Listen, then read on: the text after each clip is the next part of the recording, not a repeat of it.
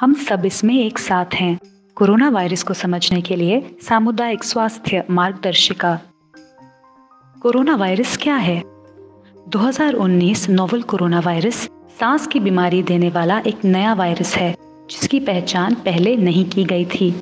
यह वायरसों की एक बड़े परिवार का हिस्सा है, जिन सभी को कोरोना वायरस कहा जाता है। कोरोना वायरस कैसे फैलता है? सांस की नाली से निकली बूंदों के ज़रिए। किसी संक्रमित व्यक्ति के खांसने या छींकने पर हवा में छोड़ी गई बूंदों के ज़रिए यह फैल सकता है। किसी संक्रमित व्यक्ति के साथ शारीरिक संपर्क के ज़रिए भी यह फैल सकता है।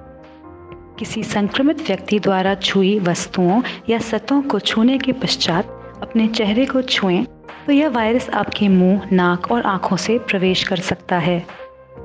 आप खुद की रक्षा कैसे कर सकते हैं? नज़दीकी संपर्क से बचें। बीमार लोगों के साथ नज़दीकी संपर्क से बचें। उनसे दो मीटर या छह फीट की दूरी बनाए रखें।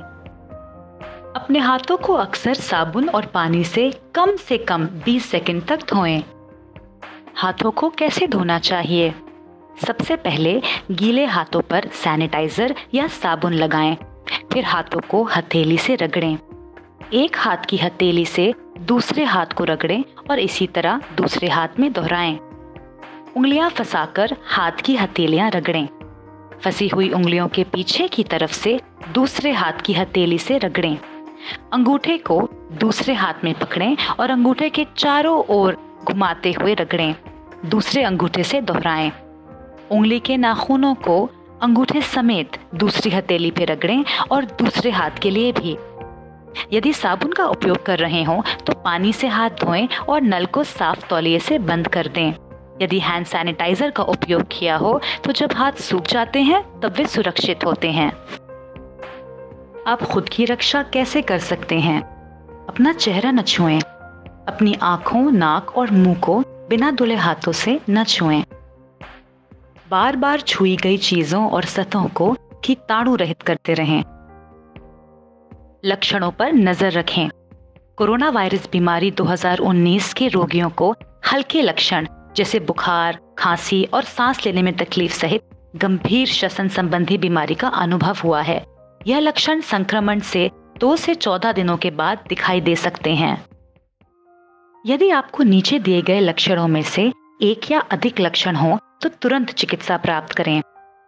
सांस लेने में कठिनाई, छाती में लगातार दर्द या दबाव, नई भ्रांतियों का पैदा होना जो पहले नहीं थी या नींद से उठने में तकलीफ़ होठों या चेहरे का नीला पड़ना और तेज बुखार। शारीरिक दूरी कैसे काम करती है? इससे संक्रमण की कड़ी टूट जाती है। आपके और दूसरों के बीच जितनी ज़्यादा शारीरिक दूरी रहेगी, वायरस का फैलना उतना ही मुश्किल हो जाएगा यह प्रसार की गति और सीमा को कम करती है। क्या रोकथाम प्रभावी है? जी हाँ। पिछली महामारियों के अनुभवों से जो हमने सीखा है उसके मुताबिक शारीरिक दूरी का जल्दी और तेज़ी से लागू किया जाना संक्रमण के फैलने और मृत्यु दर को काफ़ी हद तक कम कर सकता है। इसका लक्ष्य वक्र को समतल करना और मामलों की मात्रा को लगातार कम करना है।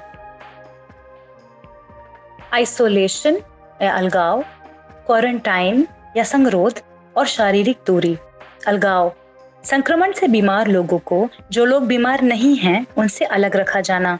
संगरोध संक्रमण के संपर्क में आने वाले लोगों को अलग रखा जाना और उनके आने जाने पर पाबंदी लगाना, ताकि वे बीमार होते हैं या नहीं, इस पर नज़र रखी जा सके। शारीरिक दूरी।